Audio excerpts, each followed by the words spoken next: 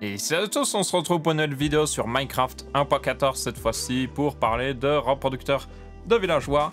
Vu que les villageois ont énormément changé dans 1.14, hein, je vous rappelle ils ont été entièrement refaits. Si vous n'avez pas vu, on va dire ce qui a changé dans 1.14, j'ai évidemment fait une vidéo de résumé, entre guillemets. Vous aurez dans le petit i au-dessus à droite. Mais du coup, oui, les villageois ont un peu changé, même sacrément changé. Donc il faut un nouveau reproducteur de villageois pour justement en avoir. Donc on peut toujours trader avec eux, faire des, des mending et tout ça. On peut les utiliser toujours pour des fermes à faire. Ce sera une prochaine vidéo où je vous montrerai un design de ferme à faire. Mais le premier truc avant tout ça, c'est d'avoir un reproducteur de villageois. Parce qu'il faut pas mal de villageois pour les fermes à faire. Vous le verrez justement dans cette future vidéo. Du coup, bah, il vous faudra un bon reproducteur. Vous ne pourrez pas juste utiliser la population d'un village, ce sera pas, sera juste pas assez en fait. Donc ça c'était mon premier prototype. J'avais testé euh, les anciennes méthodes de toute manière. Donc avant en gros, les reproducteurs de villageois étaient très techniques. Il fallait vraiment genre, il fallait mettre un villageois tout seul, 6 blocs, 7 blocs au-dessus, euh, avec des portes, ou en dessous en réalité. Et puis il fallait plusieurs villageois, dont un fermier qui récoltait les plantes et qui donnait euh, les plantes, justement peut-être des patates ou des carottes, aux autres qui allaient faire la reproduction. Et puis les, bébés spawnaient et puis on les essayait de les capturer d'une manière ou d'une autre. Donc une des techniques que personnellement j'utilisais beaucoup, c'était les trappes d'or. Donc vous voyez qu'il y a un espace ici. Pour le villageois, en fait, il peut passer. Pour lui, c'est comme ça. Et comme le bébé fait un de haut, ben, il passe en dessous ici, il tombe dans l'eau. Ça marche. Vous voyez que j'ai même pu le tester ici. Euh, et c'est même plus simple en fait maintenant parce que vous n'avez plus besoin du villageois tout seul. Et vous pouvez juste avoir des villageois ici. Maintenant, il y a quand même des trucs qui, qui ont été un petit peu, qui ont un petit peu changé, notamment le fait que maintenant il faut des lits, euh, parce que c'est ça qui considère, c'est ça en fait qui définit la place disponible dans un village, au lieu des portes. Donc ça a changé, mais au final c'est aussi simple qu'à utiliser que des portes, c'est même plus simple, parce que les lits n'ont pas besoin d'un accès au ciel, contrairement aux portes avant, et vous pouvez juste les mettre où vous voulez. Donc ça c'était mon premier design, j'avais les lits juste ici, j'avais les lits là, pour juste avoir un maximum de place dans le village. J'avais deux euh, fermiers et puis juste deux autres villageois normaux et ça marchait, ok? J'ai eu un villageois, vous voyez, comme ici. Mais je me suis dit, il y a moyen de faire mieux. Et du coup, je suis arrivé avec ce design-là qui est beaucoup plus modulaire, encore plus facile à mettre en place parce que, genre, il est ultra simple et vous pouvez vraiment le, faire comme vous voulez. En fait, vous n'êtes pas obligé de faire les dimensions que j'ai fait ici. Vous, vous, avez juste certains trucs à respecter. Donc, Première chose, c'est qu'il faut un champ, évidemment, avec deux fermiers. Maintenant, c'est encore plus facile parce que si vous mettez juste un composteur, l'un des villageois va se transformer automatiquement en fermier. Donc ça, c'est génial.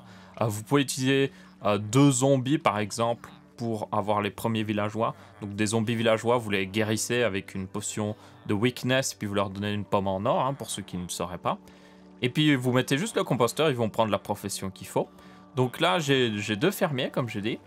Et j'ai deux villageois euh, traditionnels euh, sans profession. Ils pourraient avoir une profession, il n'y a aucun problème à avoir justement des villageois avec des professions, mais juste, voilà, moi j'en ai mis deux sans profession pour que ce soit un peu plus propre ou autre chose, mais ça change littéralement rien. Et puis, les lits, je les ai mis sur le côté, au-delà de justement les trappes d'or. Comme ça, en fait, les bébés villageois, dès qu'ils spawnent, donc on peut, on peut imiter justement... Euh, comment ça va marcher. Donc voilà, j'ai spawné un bébé villageois exprès. Donc la, journée, il va rien faire, ce bébé villageois. Peut-être qu'il va marcher de tout seul, voilà. Des fois, ça arrive, surtout quand vous avez des bébés ici en dessous, parce que ils essayent d'aller jouer ensemble. Euh, c'est une nouvelle mécanique, justement, de 1.14. Les bébés aiment bien euh, se mettre en groupe et aller jouer ensemble. Donc ça, ça les aide à tomber.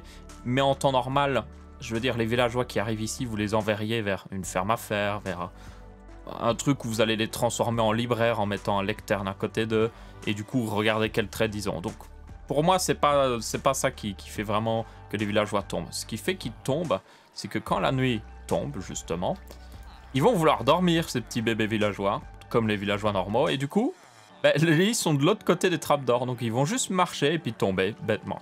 Alors, j'ai mis deux d'espace ici, parce que des fois, les, bébés villageois sont très rapides niveau vitesse, vous avez déjà dû voir ça. Donc des fois, ils arrivent à passer, si vous avez juste un, bloc ici, comme ça, ils arrivent à passer juste au-dessus, parce que ça fait même moins d'un bloc, vous voyez, c'est une toute petite distance. Donc, personnellement, je vous recommande plutôt deux, euh, deux d'espace comme ça, avec des trappes d'or de chaque côté. Très important, les trappes d'or, hein, ça leur donne l'impression qu'il y a un bloc qu'ils peuvent traverser. Et ça marche nickel.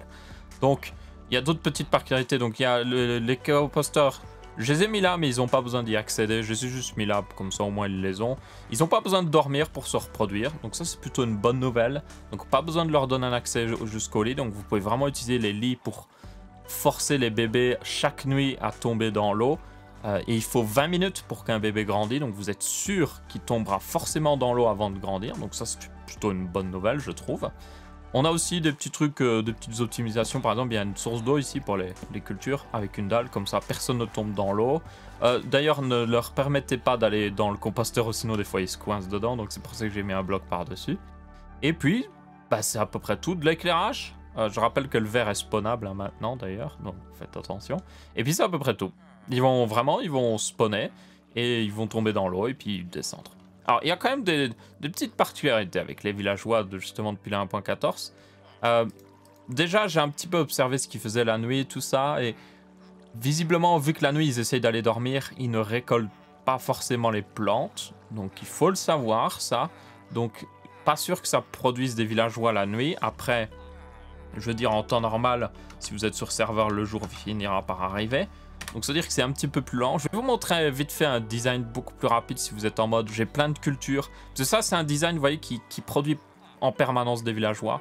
Donc vous pouvez vraiment le laisser tourner. Mais s'il y en a qui veulent plus de villageois plus vite, il y a moyen de faire autre chose et je le montrerai juste après. Mais parlons vite fait justement de ces, des particularités de ces villageois. Donc la nuit ils ne semblent pas travailler pour récolter des patates, ils le font la journée. Et un autre truc, qui a pas mal changé en fait, c'est que les, les, fermiers aussi peuvent participer à la reproduction. Alors qu'avant, les fermiers en fait récoltaient les, patates ou les carottes, les donnaient à ceux qui, ne sont pas fermiers, et puis c'est eux qui, bah, qui parce qu'ils avaient de la nourriture, ils étaient contents, ils étaient en mode ah on a de la nourriture, on a de l'espace dans le village, faisons des bébés. Maintenant en fait non, c'est juste genre tout le monde participe à la reproduction, dont même les fermiers. Vous voyez qu'il y a des petits cœurs, voilà ça commence. Euh, donc là, c'est ces deux-là, cette fois-ci. Alors, le fait qu'ils fassent des cœurs ne veut pas dire qu'ils vont forcément faire un bébé. Il faut tenir compte qu'il faut toujours des lits disponibles. Vous voyez que je commence à avoir un petit peu de villageois ici, donc au bout d'un moment, ça va évidemment saturer. Donc, partez du principe que juste parce qu'il y a des cœurs, c'est... Justement, ne partez pas du principe que parce qu'il y a des cœurs, c'est bon. Voilà, je tiens à le préciser. Vous voyez, ils, juste ils vont récolter. Des fois, ils mettent un petit peu de temps à récolter, vous le verrez. Moi, au début, je sais pas pourquoi ils avaient énormément de mal à récolter. Puis au bout d'un moment, je suis récolté sans aucun problème. Et puis, euh, quand eux auront assez de patates ou de carottes, patates et carottes, je pense que c'est les meilleurs à utiliser, c'est plutôt simple à voir. Voilà, ils feront un bébé. Le bébé va vouloir aller des fois aller autre part et puis il va tomber dans l'eau. Et ça marche plutôt bien. Voilà, il n'y a aucune autre particularité. C'est plus simple qu'en 1.13. Et en plus, c'est beaucoup plus modulaire parce que ça, ce champ-là, ben, je pourrais le faire beaucoup plus long. Vous voyez, je pourrais le faire plus long, plus large. Parce que avant, vous deviez les garder pas trop larges parce que euh, pour forcer les bébés, voyez, à tomber dans les trous ici, vous étiez obligé de les garder pas trop trop larges ou sinon les bébés couraient juste dans le champ, ils tombaient jamais, ils finissaient par grandir et vous aviez plus de villageois en haut. Ici, ben, comme il y a les lits pour les forcer à aller là-bas, chaque début de nuit, ben, vous pouvez vraiment ça je l'ai fait de cette largeur-là, mais si vous faites ce modèle-là sur votre monde, vous n'êtes pas obligé de respecter ça. Tout ce que vous devez respecter, c'est cette tranchée avec des trappes d'or. Vous pouvez juste en mettre une d'un seul côté, d'ailleurs, vous n'êtes pas obligé d'en mettre des deux côtés. Des lits derrière, suffisamment de lits hein, pour les, forcer. Avoir deux fermiers, et puis au moins deux autres villageois, peu importe leur profession. Comme ça, ça, ça tourne quand même bien avec autant de villageois, je trouve. Et puis c'est bon, le champ au milieu, il peut faire 30 blocs de large, ça passerait. Bon, peut-être pas 30 blocs de large, ça fait quand même un peu beaucoup. Je dirais, vous pouvez faire des champs de, 12 blocs de large, vous pouvez les faire hyper longs. Tant qu'il y a une tranchée pas trop loin avec un lit juste derrière, ce sera bon et c'est nickel. Donc voilà, ça c'est le, design que je vous recommanderais. Toutefois, si vous êtes en mode, ah, il me faut beaucoup plus de villageois plus vite parce que ça, ça en fait, hein, ça fait 3 jours Minecraft que ça tourne. Donc ça produit quand même de manière respectable. Mais si vous êtes vraiment en mode il me faut beaucoup plus de villageois, ben, c'est mieux de donner les patates directement ou les carottes directement aux villageois pour qu'ils se reproduisent plus vite. Alors vous pourriez faire ce design là et puis juste arriver avec votre stock de patates que vous avez peut-être produit chez vous. Peut-être vous faites euh, une... Euh, oui, qui sont attirés apparemment par les patates, c'est un peu bizarre. Et évidemment, lui, voilà, il me montre une émeraude en mode « Hey, je veux te l'acheter !» Bref, euh, donc vous pourriez juste faire votre stock de patates avec des machines très rapides avec de la bonne mille ou autre chose et puis juste être en mode voilà des patates pour toi, voilà des patates pour toi, et vous en jetez juste au, pied pour les, saturer de nourriture, comme ceci, et vous mettez plus de villageois ici. Vous pourriez faire ça, mais vu que c'est vous qui donnez les patates, vous pouvez aussi faire justement un design où vous n'avez pas besoin de ces patates-là. Euh, J'en ai pas vraiment créé spécialement, mais comme vous avez pu voir, comme il n'y a plus besoin d'un villageois au-dessus ou autre chose, ce serait un design hyper simple. Vous pourriez même réutiliser un truc un petit peu similaire à ça, où vous faites un petit peu comme ça. Donc juste en fait un truc comme ça. Euh, vous mettez juste, voilà, des trucs comme ça. Vous mettez les villageois ici. Euh, vous pourrez en mettre jusqu'à 24, donc mettez-en une... Vous pouvez en mettre, en réalité, il n'y en a pas besoin de ça. Vous pouvez en mettre 8, je dirais. 8, c'est pas mal. Euh, ou sinon, après, ils vont commencer à prendre des dégâts s'il y en a trop. Donc là, il y en a 3, 4, 5, 6, 7. On va dire 8, voilà. Vous faites juste ça. Vous balancez les patates dans ce trou. Patates, carottes et tout ça. Euh, à tenir compte, il y a des villageois un peu gourmands des fois qui s'amuseront à prendre toutes les patates rien que pour eux. Donc, faudra du temps. Et vous voyez que, bon, là, ils sont déjà reproduits parce qu'à mon avis, il y a l'autre village juste à côté, donc ça les a motivés. Oh, ah non, j'ai dû, euh, dû faire un clic en plus, en réalité. Mais dans tous les cas, avec ça, vous voyez que quand il y a un, un, bébé villageois qui est prêt à... Enfin, qui est prêt, euh, soit il va tomber de lui-même à cause que les adultes vont le pousser, ce qui marche déjà plutôt bien, mais sinon il devrait marcher de lui-même pour aller rejoindre les, lits. Et là, évidemment, vous auriez un trou avec de l'eau et puis vous pourriez l'amener où vous voulez. Et juste vous arrivez avec vos patates et vous les jetez ici. Donc ça c'est une méthode plus rapide parce que vous pouvez vraiment avoir beaucoup plus de villageois qui s'occupent de la reproduction. Mettez un maximum de lits. Euh, vous n'avez pas besoin de, de... Ils n'ont pas besoin d'avoir des professions autre chose, vous leur passez juste ça. Vous voyez que là, ils s'amusent à les échanger, c'est parce qu'il y a justement un villageois gourmand qui reprend la nourriture, et euh, essaie de la redonner aux autres, mais il la reprend plus vite que les autres parce qu'il est gourmand, donc c'est un petit peu particulier. Pour information, les villageois ont un inventaire de 8 stacks. Donc, si vous avez un villageois gourmand, il faudra balancer au moins 8 stacks de nourriture pour qu'il soit saturé et que le reste de la nourriture arrive jusqu'aux autres. Et vous voyez, ils font des petits cœurs, ils vont se reproduire, le bébé va apparaître. Euh, voilà, il est là. Des fois, il se fera peut-être pas pousser, mais dès que la nuit va tomber, de toute manière, il sera motivé à arriver là. Vous pouvez utiliser aussi un autre truc qui, marche plutôt bien en réalité, c'est les mettre sur une barrière en métal et juste les bloquer au niveau de leur tête, donc avec ces blocs-là. Donc vous pourriez enlever ces blocs ici tout autour et juste mettre une barrière de métal ici. Et les bébés seraient poussés automatiquement en fait. Ils seraient poussés automatiquement et tomberaient chaque fois à côté. Euh, c'est juste que moi, j'aime bien la technique de les forcer à aller dormir, mais en fait, ils tombent dans un trou. Et puis là, vous voyez que la, zone de drop est plus large, donc il faut plus d'eau pour les rassembler. Donc... Mais ça marcherait tout aussi bien. Donc voilà, ça c'est pour ceux qui voudraient vraiment quelque chose d'extrêmement rapide. Mais honnêtement, je vous recommande plutôt ce breeder-là. Euh, peut-être avec un système où vous récupérez les villageois ici avec un minecart. Euh, vous les poussez dans un coin ici, puis vous les récupérez avec un minecart. Aussi, si vous les récupérez avec un minecart, veut dire que si le, truc continue de tourner, que vous avez trop de villageois, le jour en fait où vous avez le nombre de villageois qu'il y a de lits, donc si vous avez par exemple mis 16 lits et que vous avez 16 villageois au total, ben le truc s'arrêtera. Il va pas continuer à produire à l'infini et faire cracher votre serveur. Donc voilà, c'est vraiment tout. C'est tout ce que j'ai expérimenté. Ça marche plutôt bien, c'est plus facile que la 1.13 et comme vous pouvez voir, c'est très très facile à mettre en place.